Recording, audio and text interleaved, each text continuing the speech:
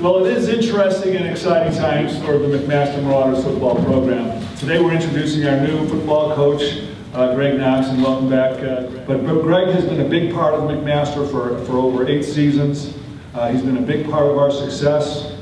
Uh, his, his knowledge of our players, of our systems, of our coaching staff, of our culture uh, will allow us to continue seamlessly through a successful program. He's passionate about football, he's passionate about McMaster, he's passionate about coaching, and he's passionate about success. So with that, I'll introduce you, Greg. Thank you.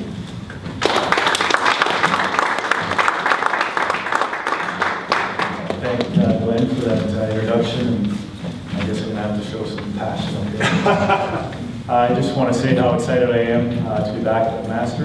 Uh, I'm going to be very brief, frankly. Um, it's uh, just being back on campus. Uh, I was lucky enough to be back uh, for the gala dinner uh, last week uh, to see familiar faces, players, staff, people within the administration of, of the athletic department and the university.